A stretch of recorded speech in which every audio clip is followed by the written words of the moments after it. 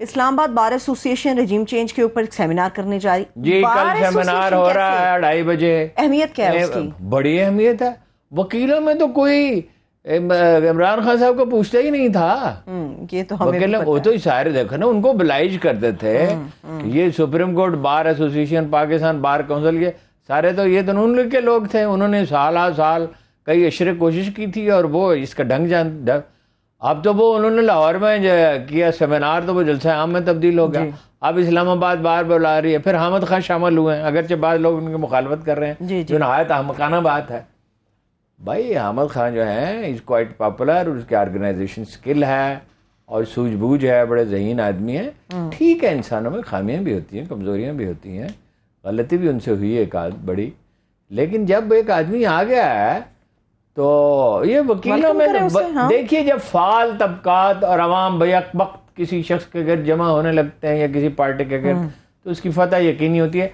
इसलिए मैं कहता हूँ ये सत्रह जुलाई को फतह का ऐलान कर सकते हैं फतह हासिल नहीं कर सकते। अच्छा ठीक है। आसिफ अली जरदारी साहब के बारे में यार सब इतलात है कि उनकी सेहत कुछ अच्छी नहीं और अक्सर ऐसी खबरें आती हैं। मगर खबरें तो ये है कि वो दौरों पर निकल रहे हैं पता नहीं कहाँ जा रहे हैं उनके। नहीं, वो गालिब ने क्या कहा था? गो, हाथ में जुम्बश नहीं, आँखों में तो दम है। रहने दो अभी, सागर और मीना मेरे आगे। आखिर में कहा तबीब ने कि सबा तोला ले सकते हैं अल्कोहल सबा तोला छोड़ी नहीं उन्होंने। हालाँकि सबा तोला था उसे क्या होता है? बात यह है कि ये जो जब आदमी हवस की गिरफ्त में होता है ना हवस इकतदार की मुराद ये है तो वो फिर चैन से नहीं बैठ सकता। नवाज़ शरीफ साहब की तो मेमोरी साथ नहीं देती, सेहत तबाह हो चुकी है, ठीक तरह से चल नहीं सकते। अब उस साहबजादी को बनाएँगे अपने नफसियाती तस्कीन के लिए। कुरान मजीद कहता है कि उसको छोड़ दिया जाता है आदमी को, उसके रास्ते पे, जाओ मज़े करो, जो करना है करो। हाँ जी? मुल्क जो है, वही साल को पहुँच गया है कि अगले साल बीस से तेईस में लोग कहा करेंगे बीस से बाईस बड़ा अच्छा साल था। इतनी महँगाई होने वाली है। क्योंकि बुनियादी पहले आप ईरान से गैस क्यों नहीं ले सकते? चीनियों ने कहा वो जो खातून आई थी इंटरव्यू करने के लिए वो रूस से भी कोई अपने तौर पे भी आता है। अपने तो अपनी है वो तो वो स्टेट ने भेजा था ना इंटरव्यू हम्म। करने के हम्म। लिए। और वो साफ़ कह रहे थे कि चीनियों ने हमें इनकरेज किया है। चीनियों ने कहा ये तो बड़ा अच्छा था कि पाकिस्तान की खारजा पॉलिसी आज़ाद हो जाए। वो हमसे ये नहीं कहते चीनी हमारे साथ खड़े हों। वो तो खुद इतने ताकतवर हैं उन्हें क्या ज़रूरत है? हमारे बगैर उनका कारोबार चल सकता चल, है। चल भी रहा है। हाँ जी? हम्म। नहीं पाकिस्तान की बहुत मदद करने की पोजीशन में तो है ये रास्ता तो देखे जो है। ये कोई और भी चीज़ों में हमने उनकी मदद किया लेकिन वो तो चाहते थे ना अमेरिका की गो अपना उससे शिकंजे से ऑक्टोपस के शिकंजे से निकल जाए। हम्म। और उसने क्या कहा? खान साहब जब मिले मेरी उनसे खुद भी बात हुई है। उसने कहा जो आप कहें इस ऐसी कोई ऑफ़र देता है जो आप कहें तो मोल क्या था पचास फ़ीसद मांगी रहे हैं तेल में पचास फ़ीसद। लेकिन इंटरनेशनली तो वो इतनी नहीं दे रहे नहीं दे रहे। तीस फ़ीसद का भी ऐसा ही है पंद्रह फ़ीसद दे रहे हैं। लेकिन पाकिस्तान को तीस फ़ीसद देने के लिए वो तैयार थे। इन्वेस्टमेंट के लिए भी तैयार थे। ये भी तीस पे तैयार और उसने कहा कि मुझे मालूम है खान साहब कि आप पे बड़ा दबाव ऑलरेडी है और और आएगा।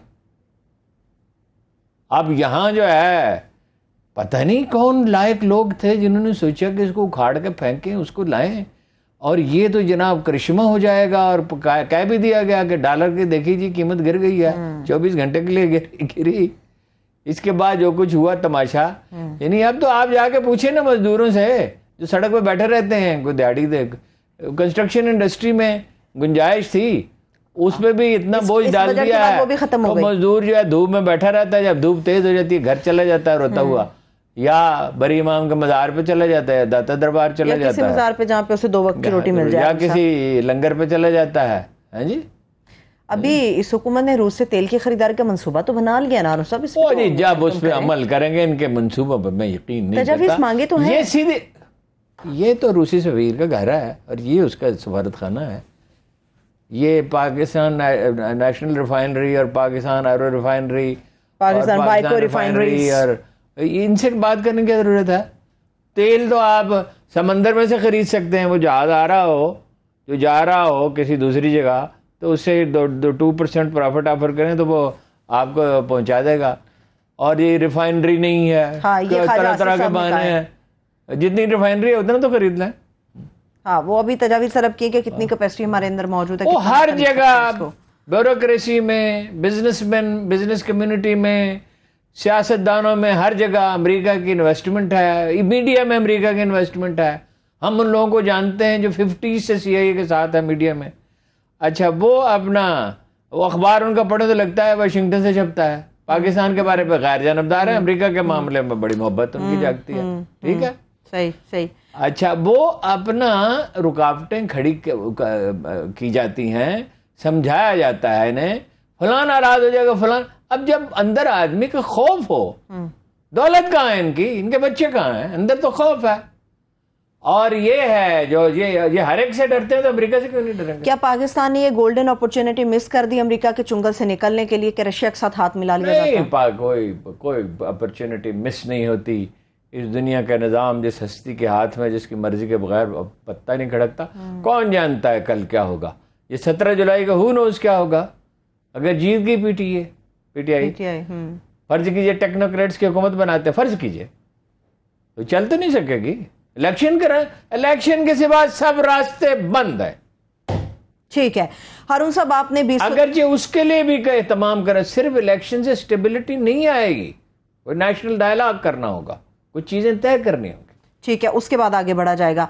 अरुण साहब आपने कहा बीस सौ तेईस में लोग कहेंगे बीस सौ बाईस अच्छा था इतनी महँगाई बीस सौ तेईस तक हो चुकी होगी। क्या आप जानते हैं कि एक सर्वे है जो बता रहा है कि मेट्रो बसेस के ऊपर ट्रैवल करने वाले लोगों की तादाद पिछहत्तर हज़ार पैसेंजर्स एक्स्ट्रा आ गए दो तीन दिन के हाँ, और ट्रेन में भी और बढ़ेगी तादाद। इसलिए कि लोग फ्यूल अब अफोर्ड नहीं कर सकते।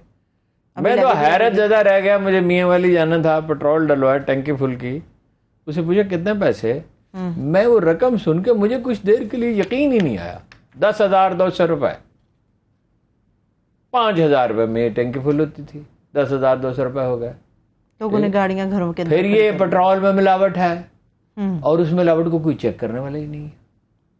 जानते बुझते जानते बुझते हुए रियासती इदारे जो है वो तो काम ही नहीं कर रहे। चल गया और दिन ब दिन वो मुअत्तल मअतल बनते चले जाएँगे। और बस बातें रह जाएँगी। और शहबाज शरीफ साहब के नारे रह जाएँगे यकम जुलाई से लोड शेडिंग नहीं होगी। हैं जी? अभी ताज़ा और फिर साढ़े तीन घंटे होगी। ताज़ा बयान बता अच्छा ताज़ा ये है कि और ज़्यादा होगी। और कौम तैयार है कुर्बानी देने के लिए? ये तो कौम तो- तैयार है कुर्बानी कौम तो हर वक्त तैयार है। आप भी कभी कभी ज़िंदगी में फरे चेंज। एक शहबाज शरीफ ने बड़ा आमतौर पर ऐसी दिलचस्प गुफ्तु नहीं करते बड़ा दिलचस्प फ़िक्र कहा था कोई गुलाम सा के ज़माने का वाक्य है किसी ने कहा कि आपने फिर ये ज़्यादा की। उन्होंने कहा for a change this time we are not at fault चलिए ज़िंदगी में एक दफ़ा आप भी कुर्बानी दे। आप भी दे देना कुर्बानी।